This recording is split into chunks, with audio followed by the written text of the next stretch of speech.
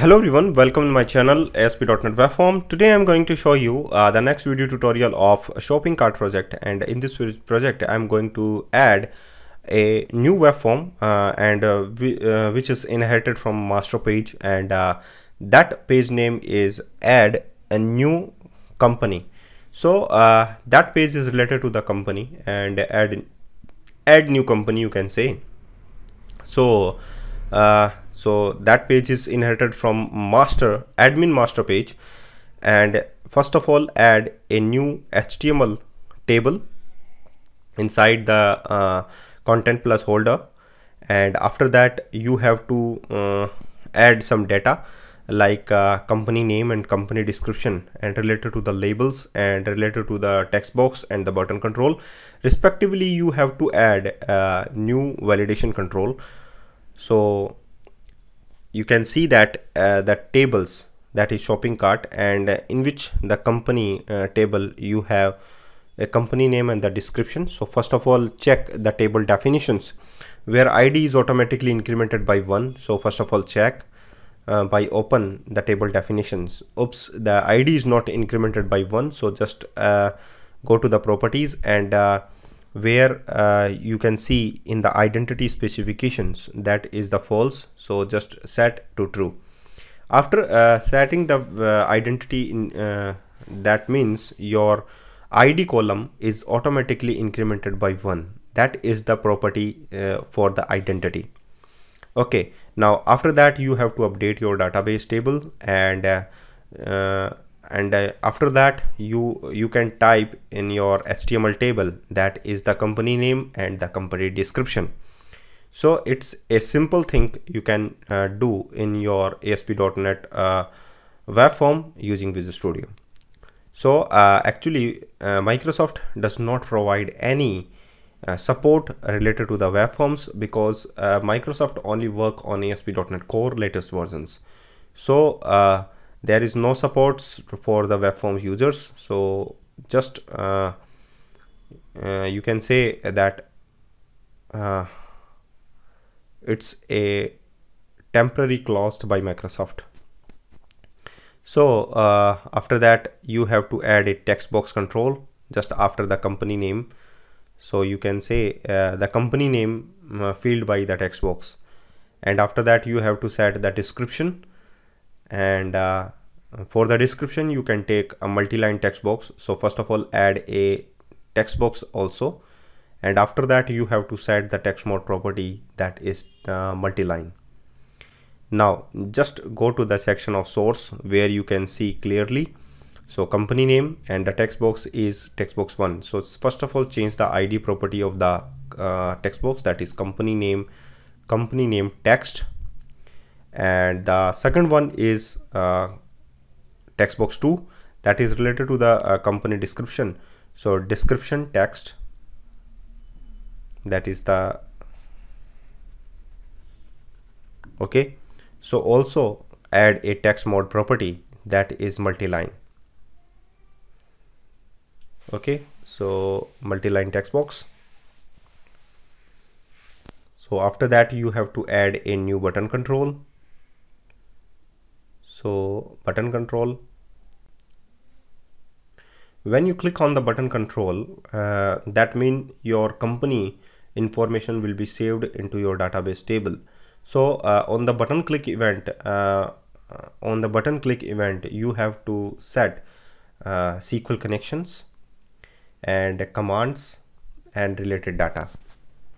So first of all you can see that add product. In add product we have already a SQL connection things. So just copy that and paste inside your button click in your add company. Because the all things are similar there is no need to uh, writing it.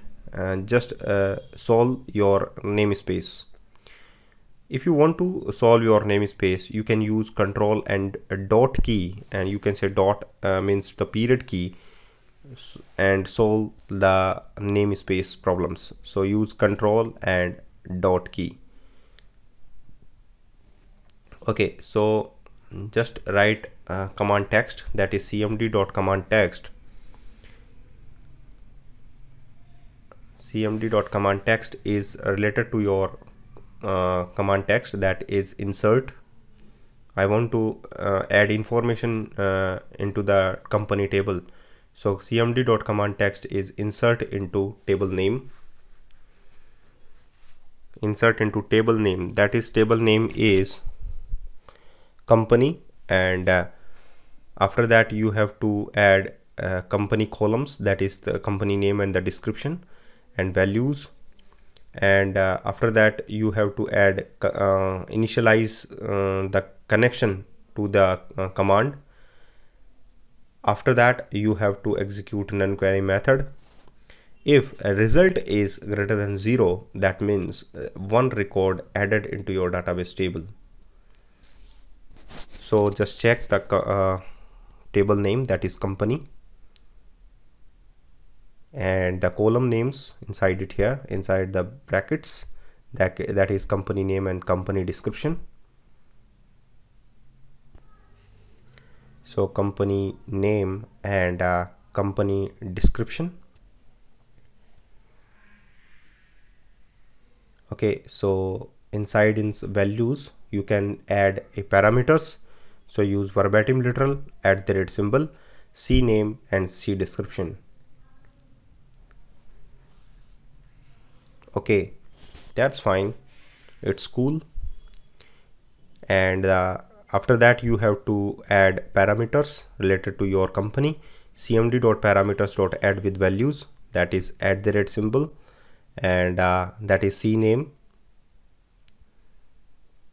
And comma and c name is the parameter name. And I want to pass uh, the company name uh, from the text box table uh, text box. So company text company name text dot text will assign into the parameter that is cname uh, similarly you can uh, pass a company description uh, text box value to the parameter c description. So just replace cname with the c description okay? And company name text uh, replace with the description text dot text. So just add description text dot text okay so that's fine and uh, pretty cool. So uh, you can see that uh, parameter is uh, created. And when we click on the button control a, a message will be displayed on the uh, label control. So add a label control. And uh, the id property of the label will be changed from the label 1 to result label you can say and the text property uh, will be uh, empty string. And uh, in the result is greater than zero it means result label dot text is that is record added you can say.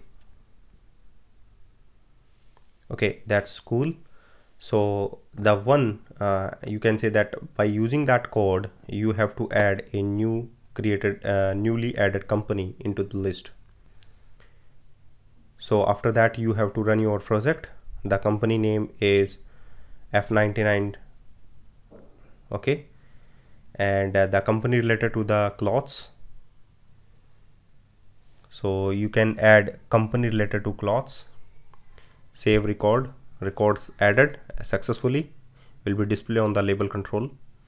So after that you have to run uh, product because the company is already added into the uh, database table. So company will be show in the uh, drop down list. So f99 uh, 28 size jeans and f99 uh, is uh, under the drop down list.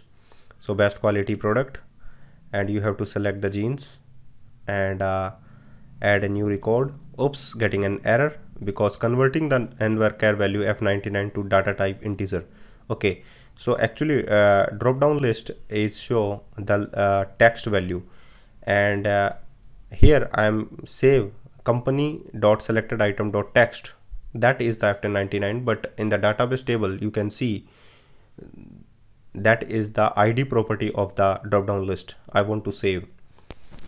So you can see that is the company id is the type of integer. But uh, here I'm using text property of the company that is F99 just I want to save the 0 1 and related to the company's ID property. Okay just close it and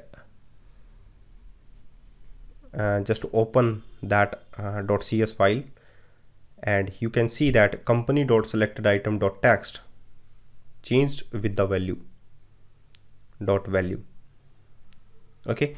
So in the value field in the drop down list of the value will hold the id property of the uh, company. So again you have to next. And uh, f99 size jeans 300 rupees. Product description that is best quality product. Choose file. Add it oops another getting an error because cannot insert the value null into the column id okay so id is the primary key of the uh, product table. So just set auto increment uh, that is the identity. So default is not set so must to set as a identity property. So in the id property set identity column that is true. And update your database table and finally you have to run again your project add product.cs file view in browser. And you can see the output.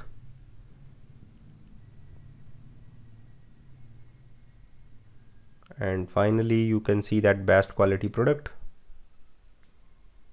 Okay so uh, it's a quite simple thing you can do in ASP.NET web form so that's fine and add new product. Yeah product added. Thank you very much